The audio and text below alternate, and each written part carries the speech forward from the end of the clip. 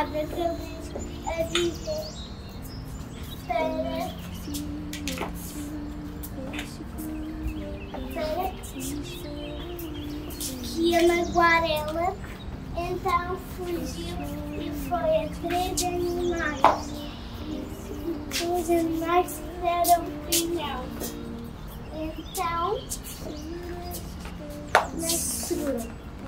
Então, depois encontrou uma formiga que, que sim usou a, a sua inteligência. Uau, que giro!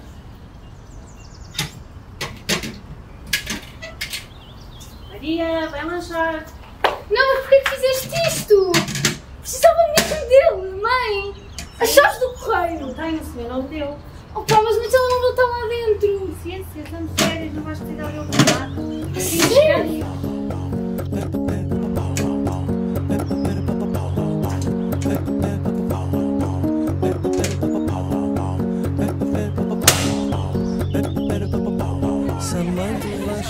para a cozinha para jantar, deixa de estar. Tosé, deixa Meninas, de estar. desculpem! Desculpem, podem-me ajudar aqui, o meu telemóvel caiu! ir para a escola batalhar, não queiras ir, Tosé, deixa-te dormir.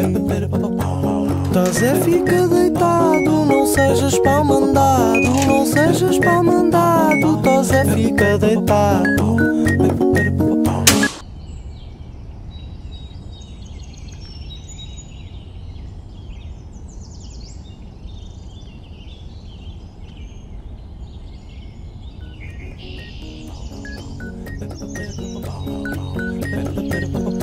Se alguém te quer explicar que não mereces descansar, deixa-os falar, Tosé, deixa-os falar.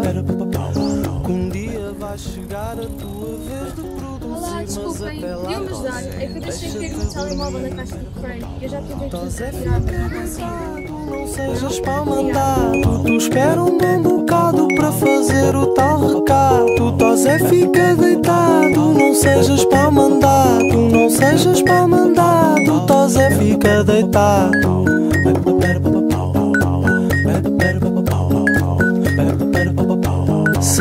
Tua namorada te mostrar o B fachada, que maçada, Tosé, mas que maçada.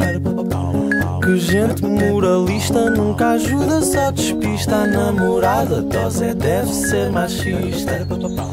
Tosé, tu tem cuidado, não sejas pau mandado.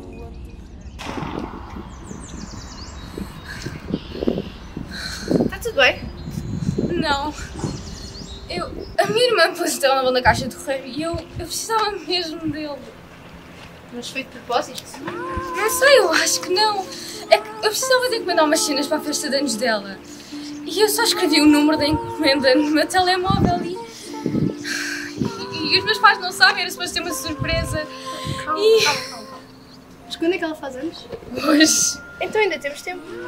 Como? Mesmo que conseguíssemos ligar para a loja, nunca ia chegar a tempo. Levanta-te.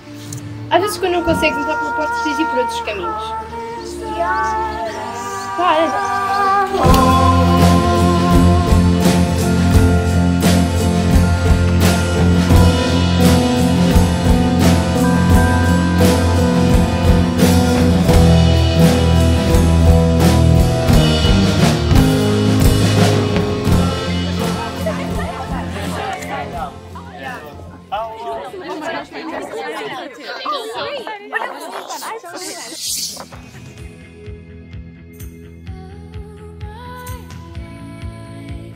Sabes, Maria, o coelhinho provavelmente nem sequer precisava de voltar para casa para fazer o caldinho.